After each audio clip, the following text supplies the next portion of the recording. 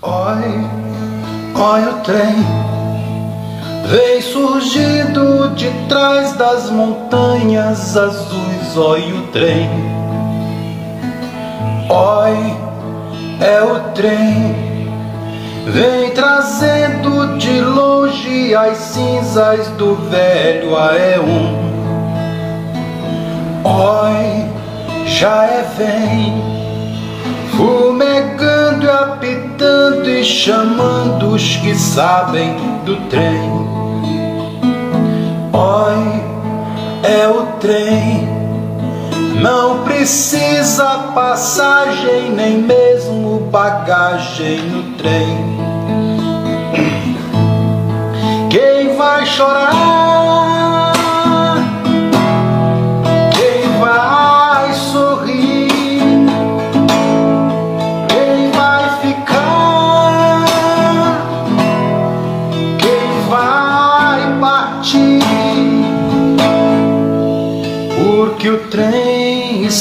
Chegando, tá chegando na estação. É o trem. Bom dia. Hoje são 10 de fevereiro de 2022, quinta-feira, Brasília, Distrito Federal, Brasil. Mais um vídeo sobre religião. Religião, pura ilusão, pura fantasia pura superstição. Leitor amigo, você viu no início do vídeo Robson Seixas cantando uma das canções de Raul Seixas.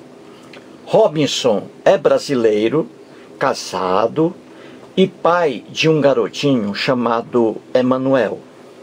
Atualmente encontra-se juntamente com a família, nos Estados Unidos da América do Norte, trabalhando incansavelmente para fazer um pé de meia, a fim de retornar ao Brasil no próximo ano.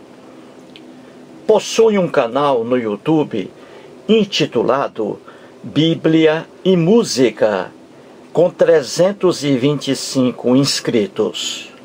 Deixo abaixo o link de seu canal para que você, leitor, possa acessá-lo. Garanto-lhe que não se arrependerá.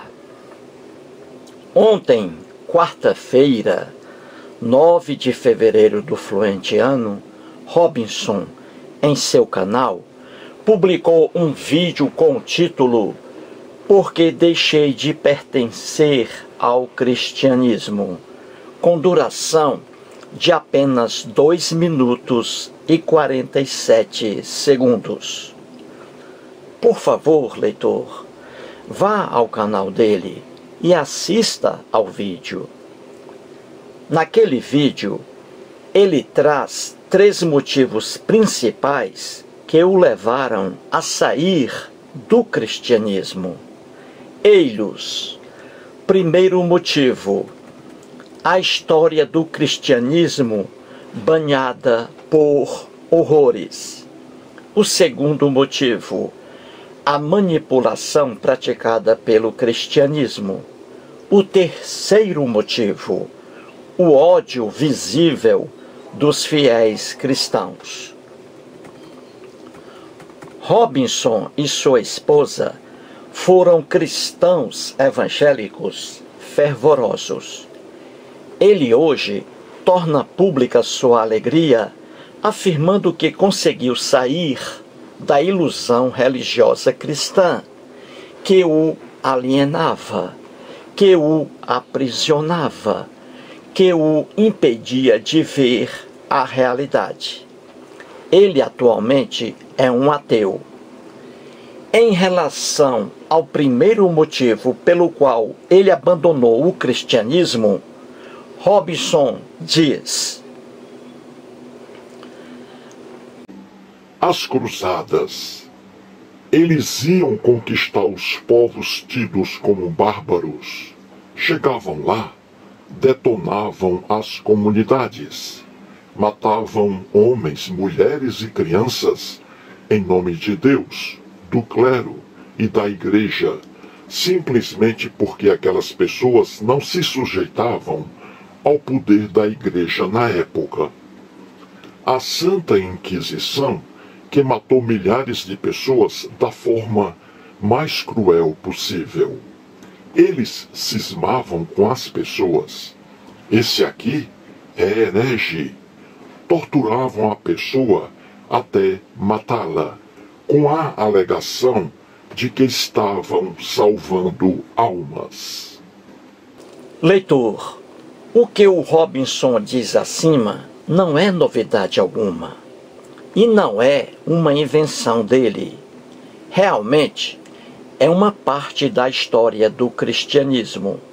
E o bom é que cristão algum pode pegar uma borracha para apagar essas barbaridades. Não adianta, porque tudo está registrado. Um adágio popular diz: Se você quiser conhecer uma pessoa, dê poder a ela. Eis uma verdade. Quando uma pessoa tem o poder nas mãos, aí ela se revela. Ela mostra quem realmente é. Isso funciona para pessoas, como também para entidades. E aqui, como exemplo, o cristianismo.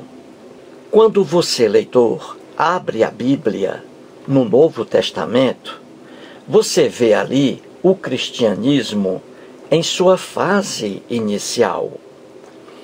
O Jesus das narrativas lendárias que estão nos quatro evangelhos Mateus, Marcos, Lucas e João, era judeu e não cristão. Ele frequentava sinagogas e não igrejas. Não havia o cristianismo ainda. Somente depois da morte de Jesus é que seus seguidores fanáticos passaram a formar igrejas e esse processo está em Atos dos Apóstolos, logo após os quatro evangelhos. Atos dos Apóstolos quer dizer ações dos apóstolos depois da morte do lendário Jesus. Você, leitor amigo, está entendendo, não é mesmo? O livro mais gostoso do Novo Testamento é justamente Atos dos Apóstolos. Por que é o mais gostoso? Porque narra o movimento dos cristãos para construir igrejas. São fatos, coisas reais, temperadas também com lendas. E o que a gente vê ali em Atos dos Apóstolos. O que mais se destaca? Ora, o que mais se destaca é a perseguição, perseguição aos cristãos. O discípulo Pedro, o mais mentiroso de todos, é preso juntamente com o discípulo João. Ou seja, perseguição aos cristãos. Isso está no capítulo 4. Logo em seguida, no capítulo 5, cristãos são presos novamente. No capítulo 6, o cristão Estevão é perseguido e morto por apedrejamento. No capítulo 8, mais perseguição aos cristãos é dito que pessoas entravam em casas de cristãos, arrastando homens e mulheres para as prisões. Enfim, perseguição aos cristãos dia a dia. Padres e pastores evangélicos mostram essas barbaridades aos fiéis que frequentam igrejas.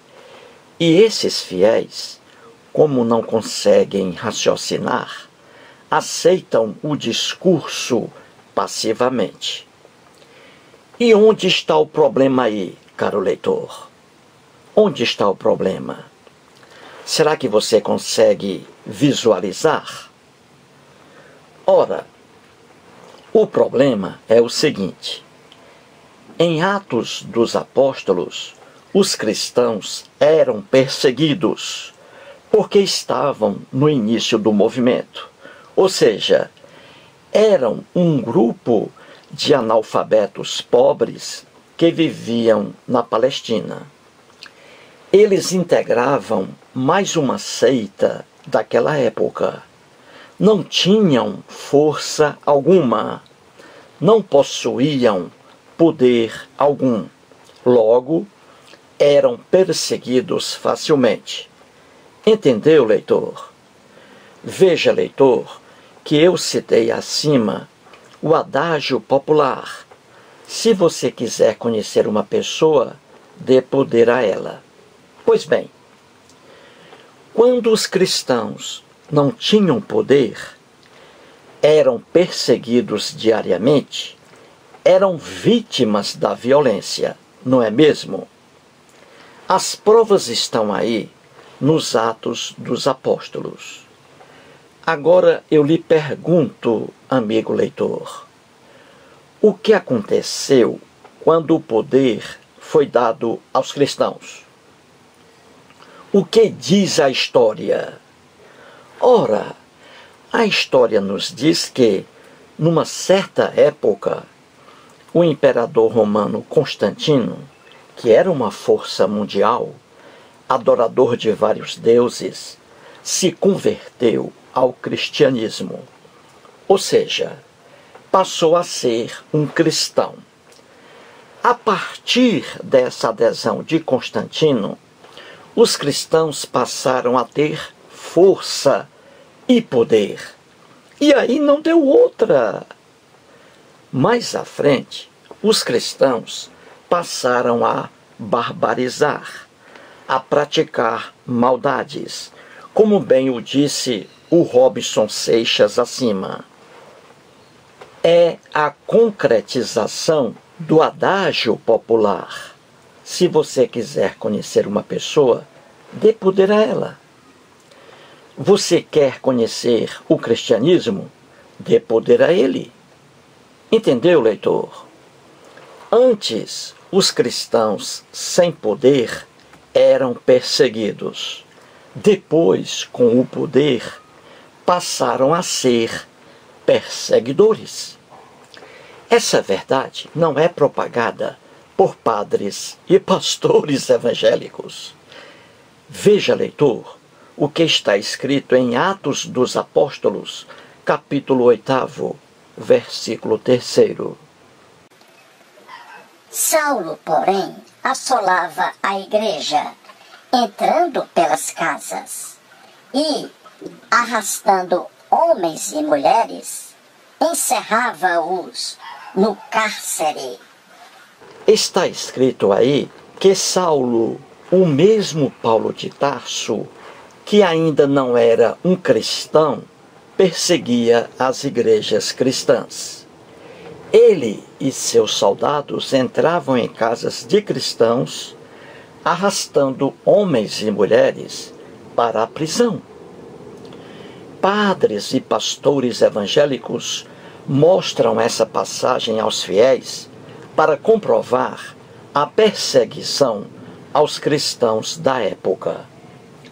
Só que eles não mostram que mais tarde, com poder nas mãos, cristãos barbarizaram mais do que Paulo de Tarso e seus soldados.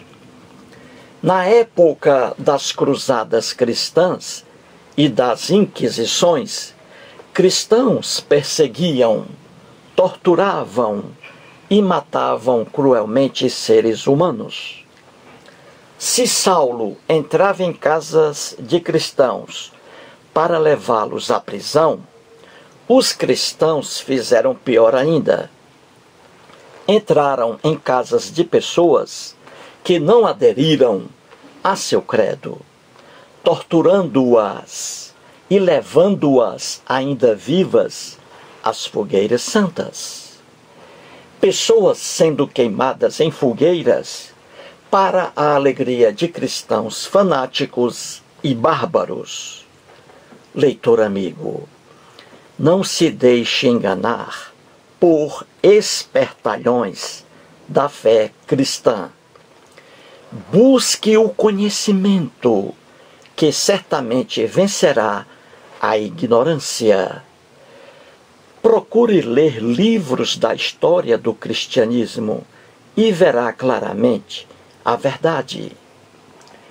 Quando o cristianismo tinha força e poder para decidir sobre a vida das pessoas, conduzia-as à perseguição, a torturas e à morte. Atualmente, vivemos num mundo evoluído, em que o cristianismo não tem mais força e poder sobre a vida das pessoas. Que maravilha! Que maravilha! Acerca dos dois últimos motivos do Robson Seixas para abandonar o cristianismo, nos próximos vídeos. Muito obrigado.